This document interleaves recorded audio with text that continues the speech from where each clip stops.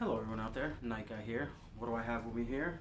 This is my Honshu uh, broadsword. Haven't brought this piece out in a long time. This was from one of my uh, earliest videos. I did a Honshu unboxing, one of my most popular videos to date.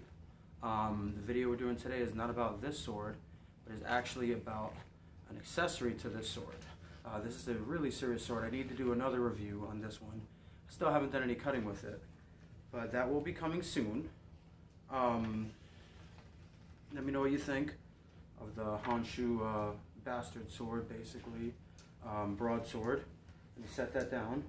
What we're working on today is an unboxing video on the dagger to complement that piece that I just had there. So here we have a mailbox here, priority mail. Let's get that opened up so we could get this dagger out. I'm really excited for this piece.